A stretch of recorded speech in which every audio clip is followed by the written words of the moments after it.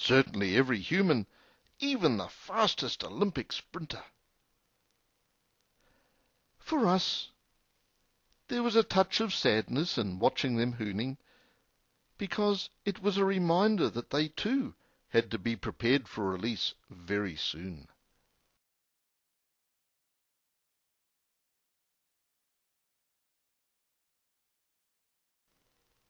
Afterwards, all four kangaroos slept and rested in their bags in a shed. Two weeks later, we took them to a place called Magpie Hill.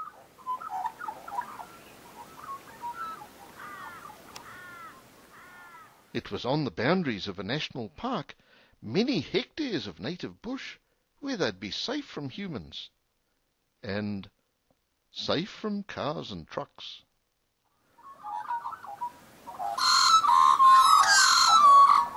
Magpie Hill is a favourite place for both birds and for kangaroos.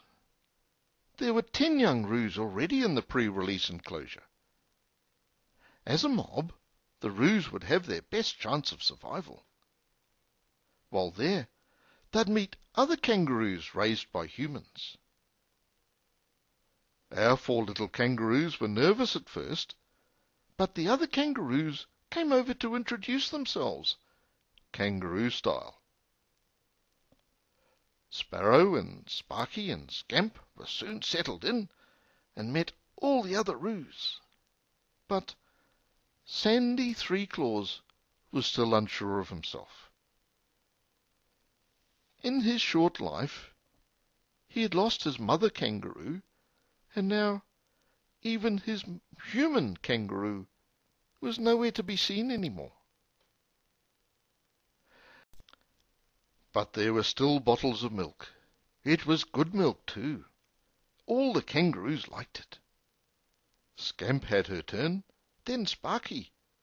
No one was forgotten, not even the big kangaroos recovering from injury. There was also delicious food to eat. Kangaroos always enjoy sharing a good meal.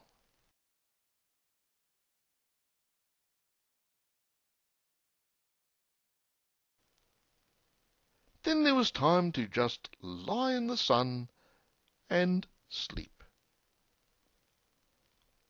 One morning, wild kangaroos came outside the enclosure they began to play and show off. The males began to play fight. Sandy Three Claws and the others had never seen kangaroos fight like this. But there was another kangaroo near the fence. It was a mother kangaroo with a joey in her pouch. She came to the fence close to the young kangaroos. Sandy and Sparky sniffed. Then Sparrow and Scamp came up. Sandy wanted to get closer. He hung around the gate all day and watched the mob of wild kangaroos.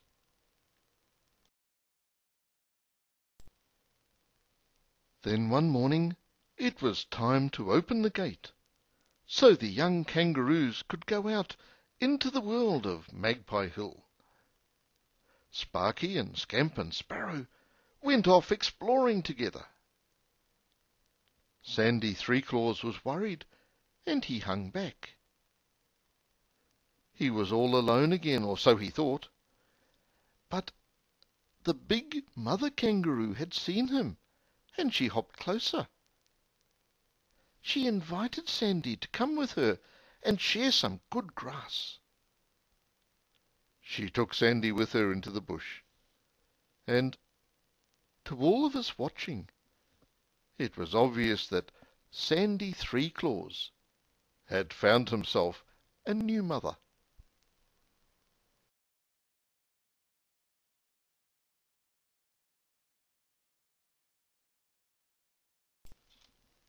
Back at Sleepy Burrows, Evie's transition to release continued for three more months. By the end of that time, she was a full adult, weighing more than thirty kilograms, or sixty-five pounds. Each day she had a run by herself in a large enclosure.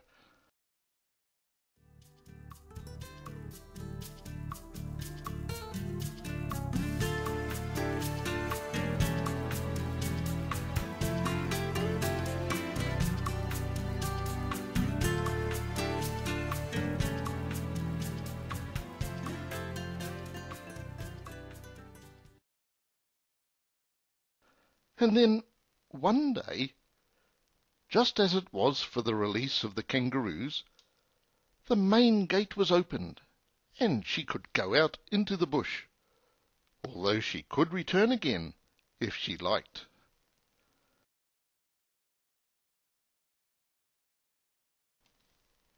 For the next three years, Evie made her life in the wild. What she did, and what she experienced, we'd never know.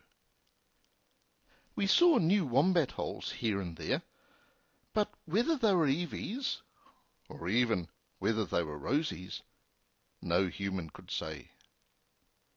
There's an old saying, the bush keeps its secrets, and Evie's life was her own secret.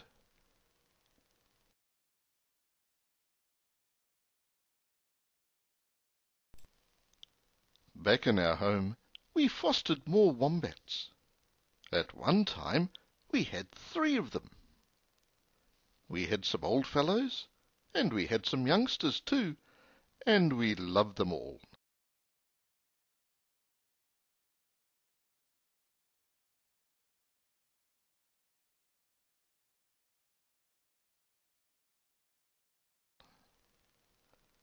We also had some more kangaroos.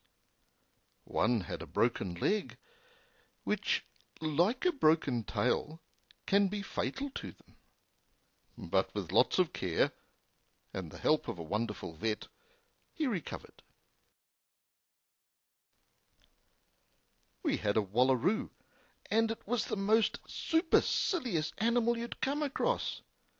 It always demanded its own way, and got it. We had little wallabies, and they also loved to play and explore the house.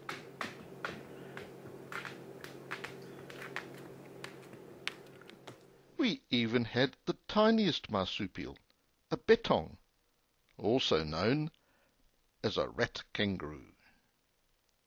It was all challenging, but very, very rewarding. Each night we went to bed exhausted.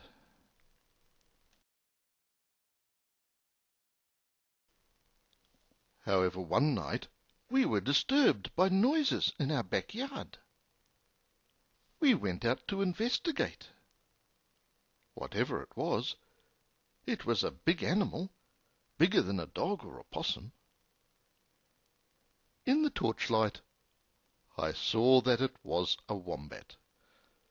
It was just quietly walking around, investigating every corner of the yard. Then I recognized her. It was Evie, older, bigger, and a little bit greyer. She came onto the veranda. We opened the door, and Evie wandered into the house as if she had never been away. She sniffed in a corner, and Jane realized what she wanted.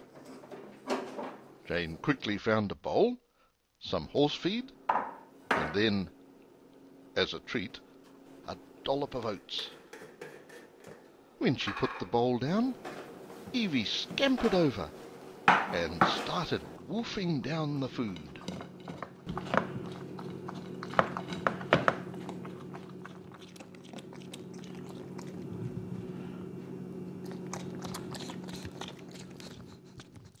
How she had found us again these years later, I'll never know but somehow she had crossed bush and farmland to seek out our home, which had once been her own home.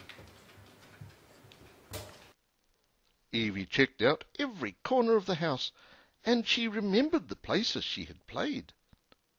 Our pantry was still an attraction for her, and playing with the flour bucket.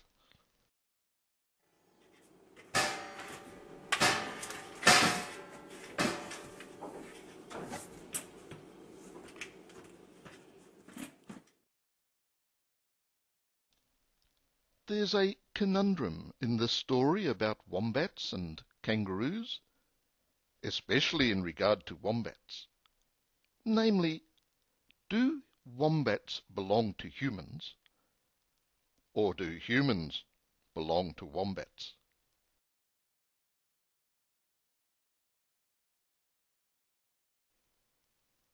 Of course, the answer is neither.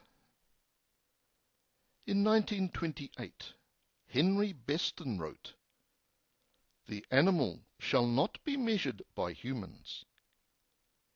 In a world older and more complete than ours, they are more finished and gifted, living by voices we shall never hear. They are not brethren. They are not underlings. They are other nations caught with ourselves in the net of life and time.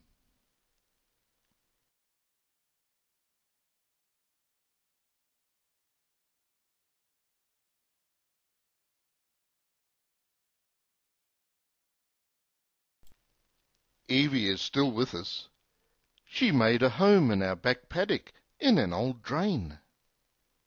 She comes out every night, after a long day's sleep, to explore her world and ours.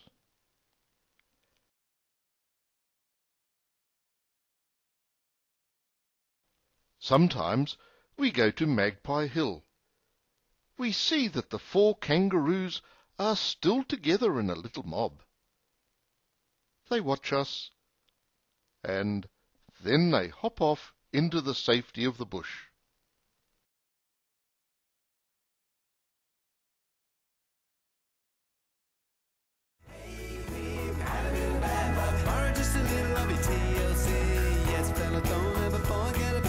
Take us to your heart, me ring a will be.